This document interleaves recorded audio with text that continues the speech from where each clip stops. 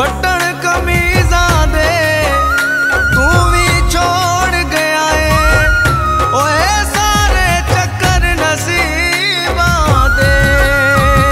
ਬਾਜ਼ਾਰ ਵਿਕਾਂ ਦੇ ਪਰਾਂ ਦੇ ਹਰ ਵੇਲੇ ਖਿਆਲ ਤੇ ਡਰਾਂ ਦੇ ਮੈਨੂੰ ਲੋਕਾਂ ਦੇ ਤਾਨੇ ਹੁਣ ਖਾਂਦੇ। ਮੈਂ ਕਿਹੜਾ ਮਜੂ